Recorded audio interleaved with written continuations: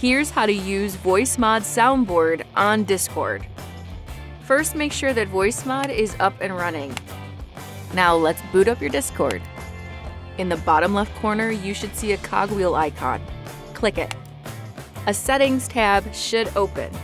Under the App Settings category, navigate to Voice and Video.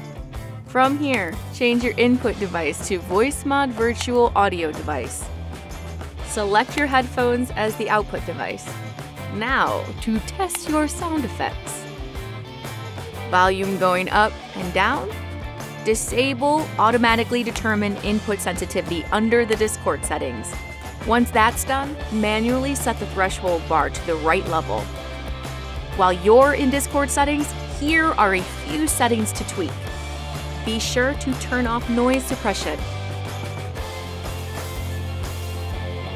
echo cancellation, noise reduction, automatic gain control, set attenuation to zero, turn off when I speak and when others speak. And finally, set your audio subsystem to standard. That's it!